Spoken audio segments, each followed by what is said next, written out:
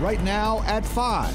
I could hear it, and when I did not hear it for a second, that's when I looked up to see it start to go down. One day later, investigators piece together clues as pieces of the wreckage are removed from a neighborhood, coping with the aftermath of a plane crash.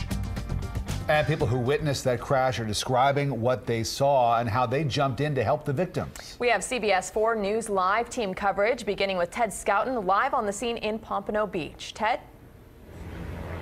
Hi, Ruta and Rick. Well, right now this investigation is wrapping up. Uh, take a look here, right there. There it goes. That is the wreckage that was just pulled out of the backyard of the uh, home here. Right over there, that is a crane that actually lifted that plane out the out of the backyard. The NTSB uh, investigators were here throughout the day trying to figure out what caused all this. Fuselage is hoist from the backyard of a Pompano Beach home, along with part of the landing gear. Piece by piece, that twin engine plane is loaded onto a flatbed trailer.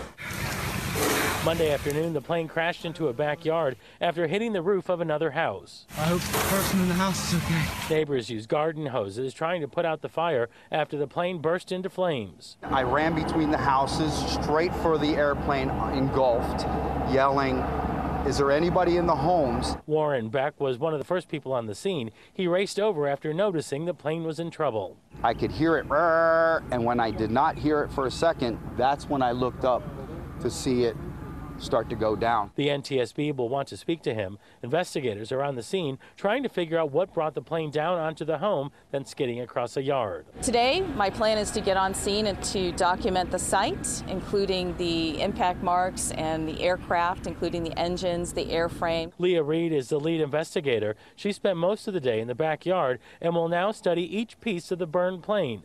She'll also speak to the three survivors who were inside. I know they were on takeoff, and, and obviously something something happened, and that's what we're going to hopefully determine here over the next few days, months. Reed tells us it appears they were practicing landing and takeoffs known as touch and go. Beck said one of the survivors explained what they were doing.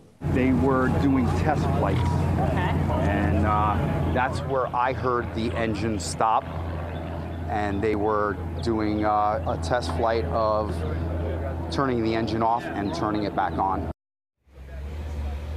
And in about a week or so, the NTSB will release a preliminary report uh, about this investigation. Then we should expect more in six to nine months after that. Now, late this afternoon, we did learn the names of all those victims who survived. With more on that, CBS 4 live team coverage continues with Joan Murray. She is live at Pompano Airport.